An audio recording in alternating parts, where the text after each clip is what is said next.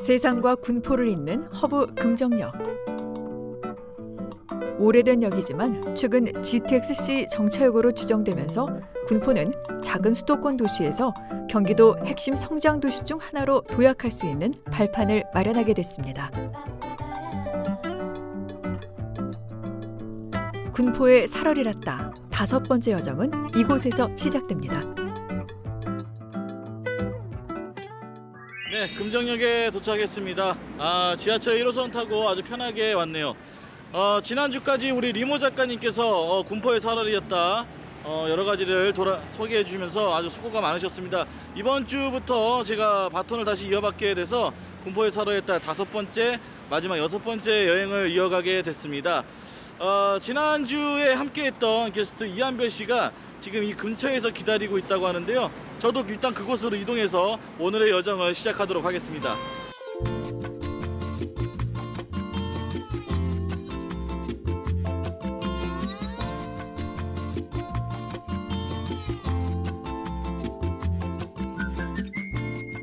아 나와 계시네요. 안녕하세요. 아유 반가워요. 아, 네 오랜만에 뵙네요. 네 잘 지냈어요? 저야 잘 지냈죠.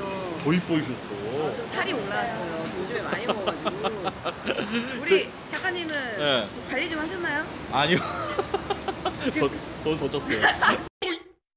오늘 좀 3번 이쪽을 좀 많이 돌아볼 거예요. 어, 군포의 중심 아니겠습니까, 어 3번이? 그래요? 음. 좀 아시는 분 있어요? 이제 3번에 대한 추억이 있습니까? 저 없어요. 아 전무후무. 네, 네. 그냥 오늘 처음, 처음. 왔어요. 평소 전통시장을 잘 이용하시는 편이에요? 저는 음. 솔직히 요즘에는 전통시장을 이용을 잘 안 하죠. 음. 예전에 어렸을 때는 많이 음. 부모님 따라서 이용했다가 음. 커서는 솔직히 이제 이런 마트나 이런 데를 이용하지 전통시장은 되게 오랜만에 와요. 차가운 도시의 여자답게 역시 쾌적하고 에어컨이 나오는 대형마트를 이용하신다고 합니다. 이 전통시장이말로 우리 서민경제의 최전선이 아니겠습니까? 네. 이 전통시장이 흥해야 다 잘 먹고 잘 사는 겁니다.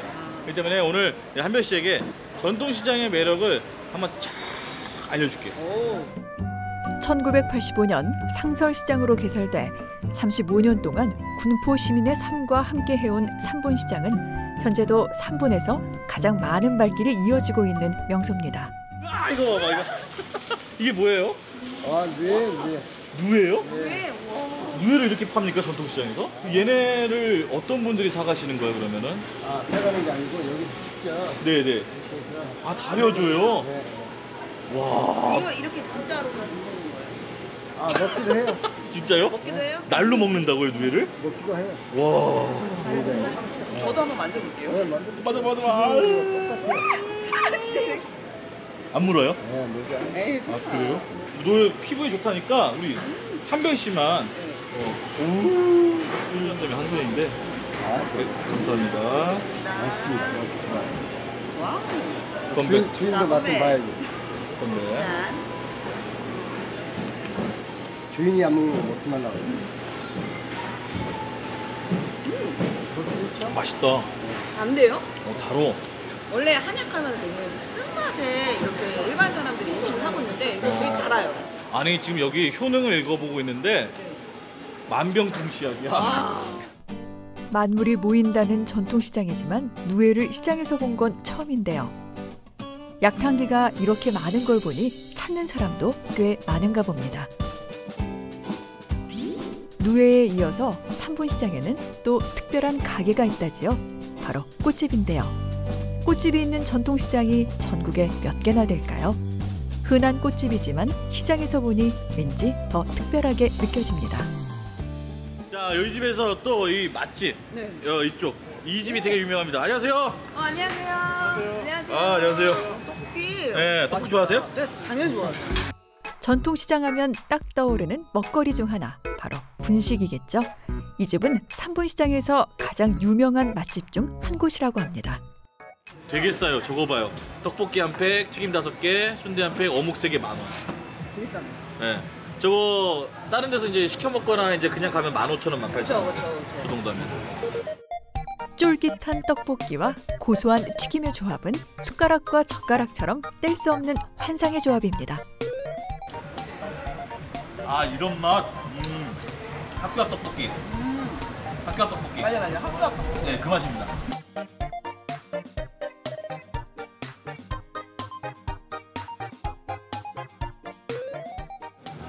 장사한 지 얼마나 됐어요, 형님? 2015년부터 했고 그 어. 전에 다른 데서는 더 오래됐어요. 전통시장에서 하시게 된 계기가 있는 거예요? 저희 가게 식재료 해주시는 사장님이 저쪽에 부산어묵이라고 있는데 네, 그 사장님이 추천해 주셔서 추천해 주셔서 네, 골목으로 왔다가 자리 잡아서 데리고 왔어요. 여기 하시, 전통시장에서 하시면서 네. 확실히 좀 뭐 장점이랄까 뭐 그런 게 있을까요? 아무래도 지금 보시면 아시겠지만 네. 코로나로 좀 경기가 어려운데도 네. 시장은 좀 체력이 아. 좀 덜한 것 같더라고요. 아, 네, 거봐. 늘 사람들이 많아서 맞아요. 장사하는데 그게 제일 큰 도움이 됩니다. 어, 근데 여기 다 젊으셔 사장님들이. 그러니까요. 사장님 되게 젊으세요. 한 명 더 있는데 네. 오늘 쉬는 날이에요. 아 다, 그래요? 다 사장님이세요? 네, 셋이 같이 아, 하고. 동업이신 거예요? 그래, 동업해야 돼. 네, 청년들이 네, 맞아요. 어? 청년 시대 아니겠습니까? 또 잘 되는 데는 잘 되는 이유가 있어요. 그럼요. 친절하세요. 음. 여기는 네. 사장님들이 활력이 넘치시네요. 어 맞아요. 제가 아까 네. 삼본 시장에 대장들이 있다고 했잖아요. 네네네. 여기 오면 이제 또 먹어야 하는 대장님이 계십니다. 이쪽입니다. 바로 예 치킨 대장님. 아 사장님 어디 가세요? 다 도망가시네. 카메라 오니까 다 도망가. 어? 어디 가시는 거예요? 자 여기 보시면은 지금 종류별로 있잖아요. 네. 순, 순살도 있고 이거 봐 옛날 통닭.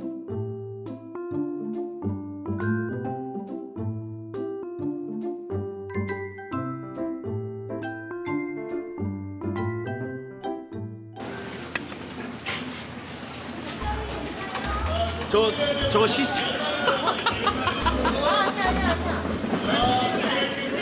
아 드셔요 드셔요. 아니 저희 게 나온 게 시식인 줄 알고 어 시식인 줄 알고. 아예 먹어도 돼요 먹어도 돼. 너무 맛있게 아니 얼마나 먹고 싶었으면 망설이지도 않고 그냥 쓱 들어가. 네, 맛있게 저희 먹으라고 나왔는데 음식이 시식인 줄 알고. 근데 이거 보잖아요 뭐? 급하면 그어 아니 진짜 아 이거 시식인가 물어보지도 않았어. 저딱 오더니 시식을 자주 하거든 아 시식을 자주 하시는구나.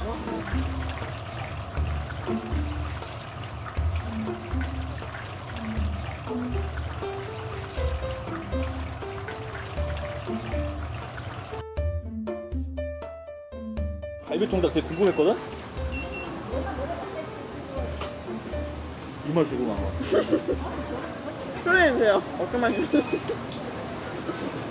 진짜 쌀밥에 어울리는 간장 맛 있죠. 밥에 비벼 먹을 수 있는 그 간장에다 버무려 가지고 제가 원래 강냄새가 조금이라도 나면 잘 안 먹거든요. 네, 네. 정말 좋아요. 아 맞다 치킨 별로 안 좋아하신다고 네, 오늘 좀 맛있다. 일단 저는 아무래도 운동을 하고 이런 음. 다이어트를 하다 보니까 음. 이 치킨의 겉에 묻은 음.